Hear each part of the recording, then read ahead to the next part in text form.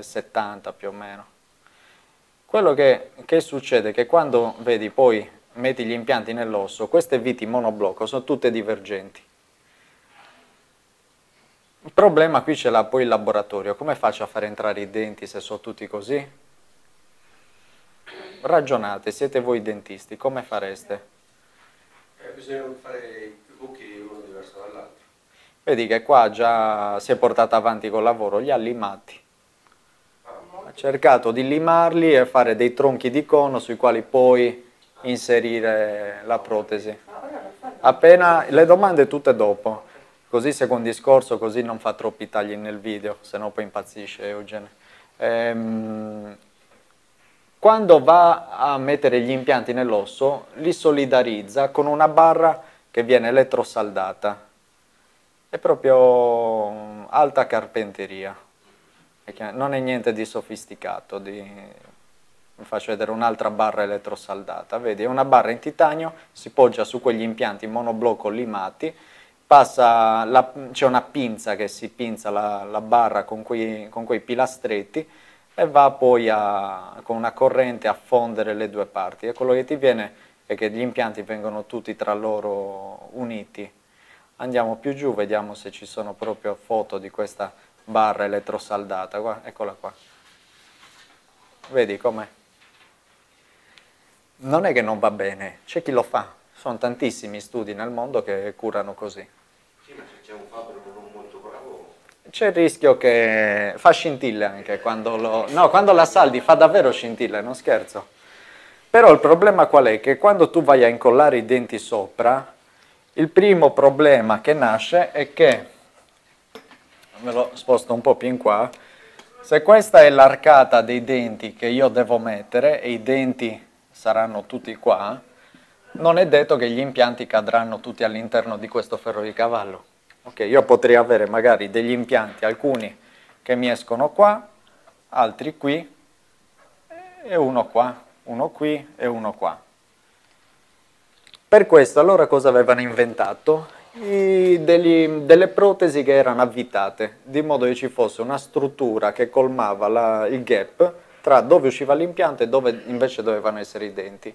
E quella, se voi togliete i denti praticamente dalla, dal modellino che avete, toglieteli tutti, lasciate solo quella barra gialla.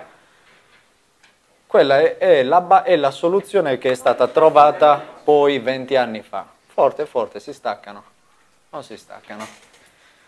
Quando eh, sono belli, sono a frizione, sono.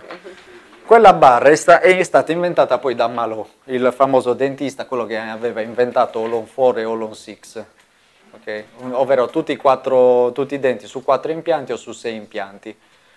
Allora aveva detto come faccio io a eh, superare il problema di questi impianti che sono tutti in zone diverse della gengiva e devo fare un ferro di cavallo però che non sia storto, che non sia condizionato da dove devo separare i problemi. Ciò che è dente è dente, lo vado a posizionare correttamente dove deve essere nel sorriso e anche in base alla masticazione lo metto in asse. Gli impianti non devo metterli pensando a dove andranno i denti, gli impianti li metto dove c'è l'osso, se no li perdo gli impianti. Però per unire i denti e gli impianti devo inventarmi uno snodo, ok, uno snodo ed è stato poi quello che si è chiamato il uh, multi-unit abutment. Multi-unit abutment è stato, eccolo qua, praticamente questo snodo con diversi gradi che si avvita dentro agli impianti dentali, vedi bene qua come l'impianto può essere storto, però poi sopra ho uno snodo che mi colma eh, la, il gap di inclinazione. Ok, ci sono di diverse inclinazioni. La protesi quindi a un certo punto, 20 anni fa, è stata inventata questa tecnica da Malò che è diventato famoso, ed, era, ed è diventato famoso fondamentalmente per aver suddiviso quello che era il problema dei denti dal problema degli impianti.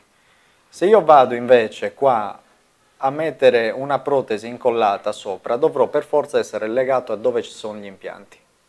Quindi non è che una cosa va male, non si usa, una è vietata e l'altra è permessa, è che alcune tecniche ti risolvono certi problemi che altre tecniche, le prime che erano uscite a livello storico, invece ti creavano Ehm, è una tecnica più questa, vedete, analogica, perché oggi noi queste barre le facciamo tutte col digitale, quella gialla noi la possiamo fare in titanio e la possiamo al momento dell'intervento, il giorno dopo, due giorni dopo, avvitare sopra gli impianti.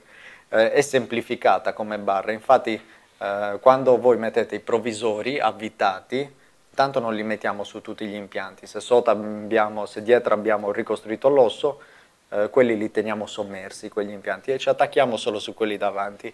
Li uniamo con una barra fatta col computer e stampata dalla stampante per metalli, e quella si avvita senza colle sopra gli impianti, e sopra quelli poi ci sono i denti in PMMA, resina, che dopo sei mesi, un anno si buttano.